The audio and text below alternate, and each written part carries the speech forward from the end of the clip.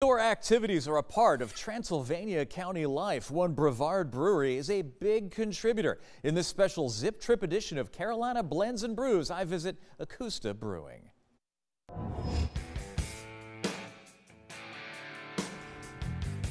Needed to change, and so we found the mountains of western North Carolina.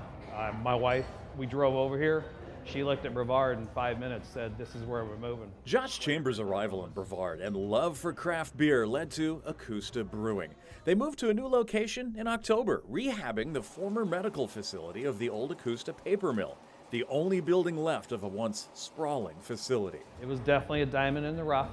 I mean, had you seen this place before, as even my lender looked at it, and she just looked at me and said, Okay, I trust you. It's now an indoor outdoor space with a separate bar for special events. Brewing is done downstairs. They can have eight beers working at once using tanks they know by name. I am a product of the uh, 70s, so we do have Jake.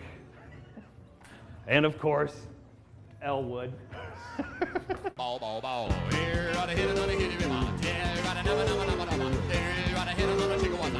So this is our Dead Drift American style pale ale. It's a nice copper color. 20 taps are available, 16 dedicated to their brews, representing multiple styles. I like to go balance, and that's what I feel like we do really well is we bring a balance between the malts and the hops. Looking for something with a little fruit? They've got that too. So what we do is we do a just a plain seltzer, uh, and then the people that order the seltzer can add in whatever fresh squeezed fruit they want. Usually we have two or three options on that one. Ecusta Brewing Company is located right on the Brevard Pike Path, which hooks up to the Pisgah National Forest behind me, making this a great place for those who enjoy the outdoors. They also partner with outdoor causes. A portion of the proceeds from Rails to Trails Pale Ale supports Friends of the Ecusta Trail. The Three Amigos Mexican Lager is another fundraiser. There's these three guys.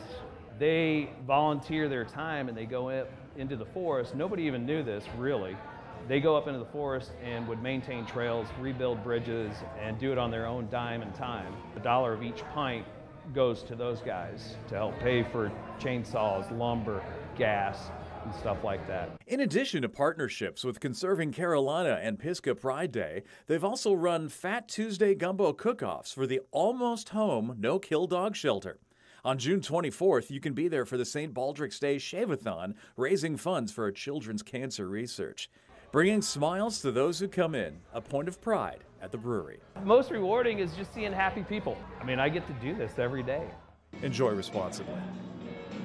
For more information on Ecusta and some of those organizations they've partnered with, we've got links in the story on Carolina Blends and Brews and on WSPA.com. Just go to the tab in the news tab, find Carolina Blends and Brews, take you right to the story. Well, they are in a beautiful beautiful portion of that county, aren't they? Yes, they are. And again, right on that trail. So everything that the county has available and all the way to Henderson County, once they get that uh, one trail done, you'll have all of that at your disposal. Yeah, although